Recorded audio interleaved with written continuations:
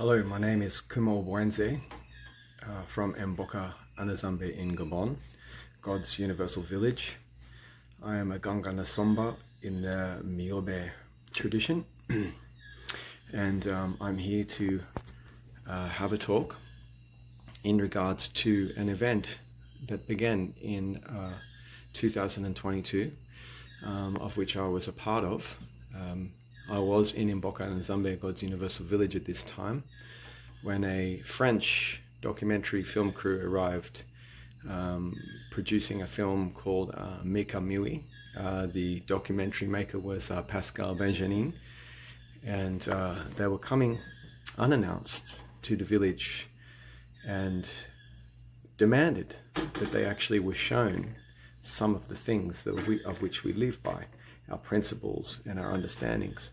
Now, there is a cultural divide. When you arrive somewhere with a colonial mindset, as these people, you're only ever going to, anthropologically speaking, observe through that lens, which was clearly the outcome, as I'm going to outline. So they arrived with the principle of actually extorting the tradition by asking to put an art in situ sculpture within the premises, which was hidden behind an agenda of claiming that this was freeing Africa. Now, this is an extortion and a colonialism of what is tradition. We were more than happy to actually demonstrate uh, Guyano Nazambe, God's Universal Mirror Seance, for, for the, uh, the film crew. And they took and proceeded to take a whole lot of film in and around the village, depicting the village as something that it was not. This was revealed and released within a couple of months ago, showing and outlining that children and women in the village were not allowed to leave the village, that they'd never been anywhere, that they were forced to wear skirts. Of course, you were forced to wear skirts because that's what we ask of you to enter the village, and you should also be praying at the door if we are going to deal with you at any, any point. Of course. But whilst you're here to actually depict without any formally based information, at all about how we live or our way of life. You're simply looking at the surface and all of a sudden you've assumed an authority on how Bwiti functions and how King Adamangana functions.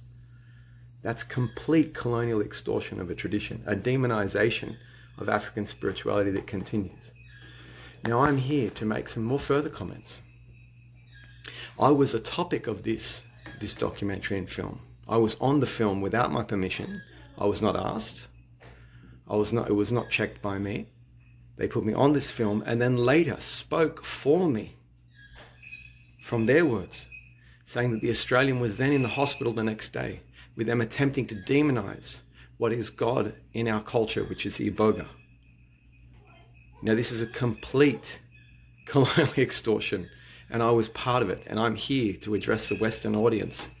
So they're made privy to this film. And we you can refer to our website and stories in Mboka A Nziambe or Ikara to find out and learn more about the original cast or mold of the film and the one that we've adjusted.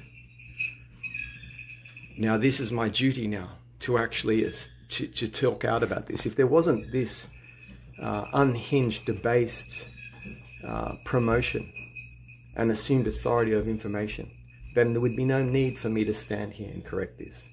But I'm addressing this directly to you there, especially Pascal Bejeannin and his son, speaking poorly about people with no base is the lowest form. And it's a fact, it's the same thing that your French colonial forefathers did and have been doing in, in Gabon and the Congo and everywhere else for the last five, six hundred years. So in a lot of ways, we shouldn't be surprised. But when we open our house to you with the intent of you agreeing and being culturally sensitive and assisting us and for you to turn your back and to demonize what we are is typical of your heritage. And that's what we can see now. So please, if one of you is happening to listen, feel free to reach out to me. But just know, I've already mentioned, that for you to actually not seek approval on my regard and then to speak out about my family is an error and completely incorrect. Everybody knows through our work, with our intercultural programs with Indigenous in the West, our promotion of the reconciliation of God in self, in Bwiti, and our complete direction of equality.